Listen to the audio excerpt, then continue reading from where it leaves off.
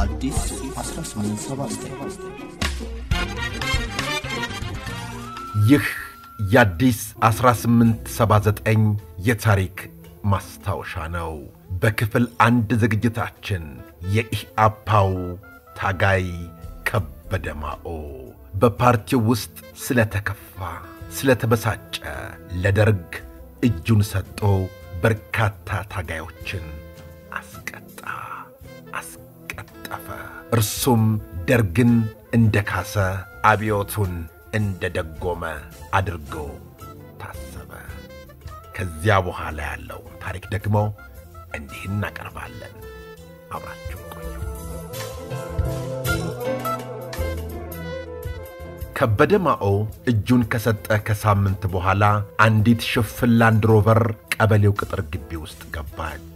የድሮ የባላባት መኖሪያ ቤት እንደሆነ አሰራሩ የሚመሰክረውን ይህን ግቢ ከለውጡ በኋላ ቀበሌው እንደወረሰው ይነገራል። ከውጭው በር እስከ ጽሕፈት ቤቱ ያለው ርቀት የአንድን ኳስ ሜዳ ግማሽ ያክላል። በዚያ ሰፊ ግቢ ውስጥ ነበር ላንድ ሮቨሯ ፊቷን አዙራ ወደ ጽሕፈት ቤቱ የተጠጋቸው። የመኪናዋን መምጣት እንደሚጠባበቁ የሚያስታውቁ አንዳንድ እንቅስቃሴዎች ጎልተው የሚታዩ ሲሆን በተለይም መሳሪያ የታጠቁ ሰዎች ከግቢም ውጪ ሰላማዊውን መንገደኛ በበሩ በኩል እንዲያልፉ እስከ ማድረግ ደርሰዋል።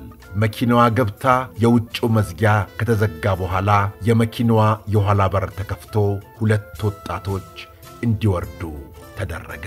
እንዲወርዱ የተደረጉት ወጣቶች ሴቷ አያልነች ስትሆን ወንዱ ስሙ በውል ባይታወቅም በቅጽል ስሙ ሐውልት ይባላል። እነዚህን እንግዶች በክብር ለመቀበል ሰለሞን የቀበሌው ሊቀመንበርና ከሃዲው ከበደ ማኦ በቅጽር ግቢው የተገኙ ሲሆን ከእነሱም ጋር በጭካኔያቸው ተወዳዳሪ አይገኝላቸውም የተባሉት የመኢሶን አባላት የሆኑት ዘለቀና ዘገየ አብረው ነበሩ።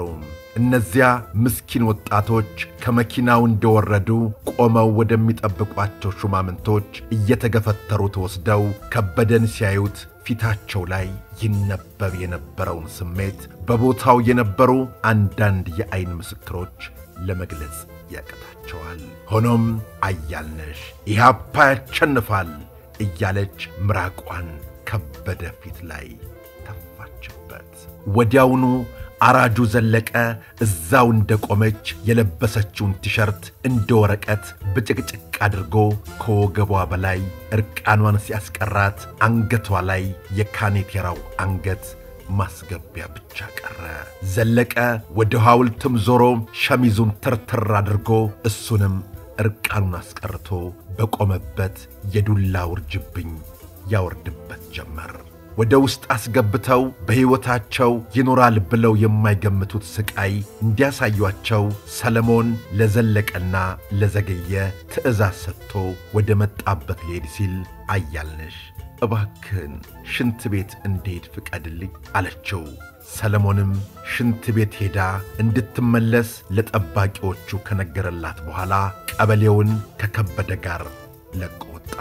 አያልነሽ በቀጥታ ወደ መጸዳጃ ቤት ገብታ ከሚደርስባት ሥቃይና እንግልት ራሷን ማጥፋት እንደሚሻላት በማመን አንገቷ ላይ ከቀረው የካኔቴራዋ ከፈፍ ሳይናይድ የተባለውን መርዘኛና ገዳይ ኪኒን ውጣ ከሽንት ቤቱ ወጣች። መድኃኒቱ በሰውነቷ ውስጥ ለመሰራጨት ብዙ ጊዜ አልወሰደም። ተመልሳ ቢሮ ውስጥ እንደተቀመጠች ነበር በአፏ አረፋ ደፍቋት መሬት ላይ የተዘረረችው። በክፍሉ ውስጥ ወድቃ ስታጣጥር እነዘለቀ የምታሾፍና ለማጭበርበር የምትጠቀምበት ዘዴ መስሏቸው ተነሽ እያሉ በርግጫ ወዷን ይመቷት ነበር።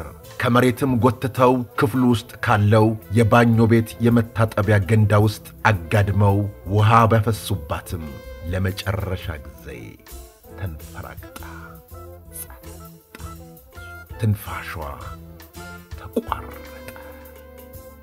አያልነሽ የነዘለቀን ስቃይ አላይም ብላ እስከ መጨረሻው ይችን ምድር ተሰናበተች። አያልነሽ ጸጥ አለች። እነ ዘለቀ ግን አሁንም አላመኑም። እያጭበረበረችን ነው ብለው ስላሰቡ ዘለቀ እንዴት አድርጌ ከእንቅልፏ እንደምቀሰቅሳት ላሳያችሁ ብሎ ከውጪ የተፈለጠ ረጅም እንጨት አምጥቶ በብልቷ ውስጥ በመክተት ተነሽ ጸረ አብዮተኛ እያለ እንጨቱን ወደ ውስጥ በመግፋት በማውጣት ባኞው ውስጥ በተጋደመው አስክሬን ላይ ይጫወታል። አያልነሽ ከሞተች ቆይታለች። ሥጋዋ ግን ብዙ ተሰቃየ። እነ ዘለቀም በጣም ተናደዱ። አያልነሽ አመለጠቻቸው። ሥጋዋ ላይ ግን ቆራጧ ሴት ላይ እነ ዘለቀ የለችም ብለው በድን ሥጋዋ ላይ ቀለሉበት። ሐውልት ግን ሊያመልጣቸው አይገባም። ያያልነሽን ቁጭት በሐውልት ላይ ለመወጣት በጣም ቋምጠው ጊዜ ሳይሰጡት ገልብጠው ይገርፉት ጀመር። ዘለቀና ዘገየ በየተራ እየተፈራረቁ ሐውልትን ምን ምን እንደሠራ ለማውጣጣት ባሰቃቂ ሁኔታ ቢገርፉትም አንዲት ቃል ትንፍሽ ሊል አልፈቀደም። ግርፊያው አሁንም እንደቀጠለ ነው። ሐውልት ግን ከስቃዩ ብዛት ለመናገር በእጁ ምልክት አልሰጠም። ያለምንም ማቋረጥ ሦስት ሰዓት እየተቀጠቀጠ ነው። የሐውልት የዘር ፍሬው ብትንትኑ ወጥቶ ደምና ደቃቅ አጥንት ጭኑን ለውሶታል።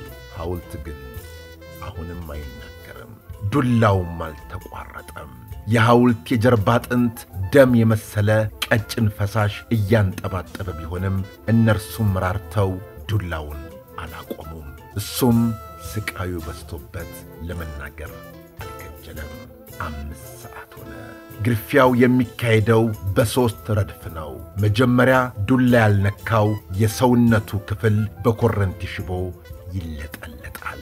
ይህ በሽቦ የተገረፈው የሰውነቱ ክፍል ቆዳው ሲገሸለጥ፣ ሁለተኛው ዙር በአኮርባጅ ወይም የበሬ ብልት የተገሸለጠውን አካሉን ይቀጠቅጡታል።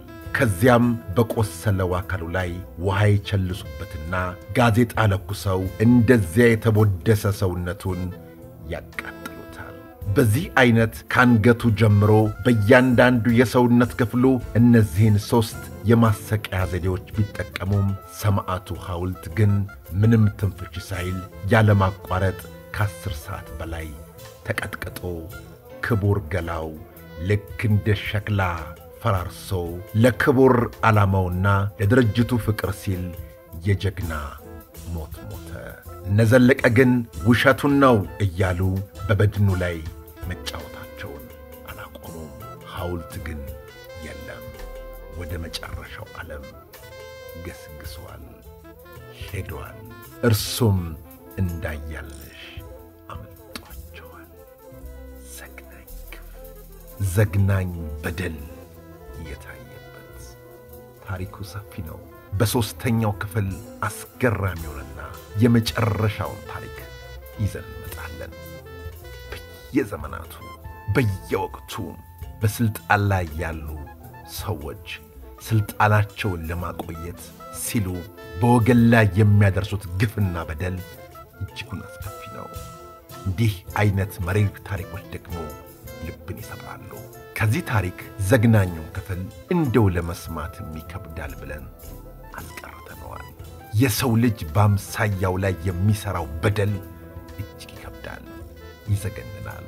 በሞተ በድን የሰው አካል ላይ የሚደረገው ነገር ሲሰሙት ይሰቀጥጣል። ይህ በሀገራችን የሆነ እውነት ነው። ትናንት የሆነ ነው ብቻ ብለን ማስቆም አልቻልንም። ትናንትም ዛሬም ሊሆን ይችላል፣ አናቅም። ዋናው ግን እንዘምን፣ እንሰልጥን። ፖለቲካ ዘመናዊነትን ይፈልጋል። ፖለቲከኞችም ዘምኑ። መንግሥት ሥልጣን ላይ ያላችሁ ተቃዋሚ የምትሏቸውን ከማባረር ከማሳደድ ከእነርሱ ጋር በጋራ መሥራትን ልመዱ። ይህንን ነው የምንለው። በክፍል ሦስትና በመጨረሻው ዝግጅታችን አሳዛኝ እንመጣለን። ውድ ቤተሰቦቻችን በሀገራችን የተከናወኑ ታሪኮች ቢነገሩ ቢወሩ ቢነገሩ የሚያልቁ አይደሉም። ግን እንደዚሁ እናቀርባቸዋለን። አሁንም አብራችሁን ሁኑ። በሌሎች ታሪኮችም እንደዚሁ ተመልሰን እንገናኛለን። ይኸው ለአክብሮታችን ባርኔጣችን አውልቀናል። እናመሰግናለን ብለናል። አዲስ 1879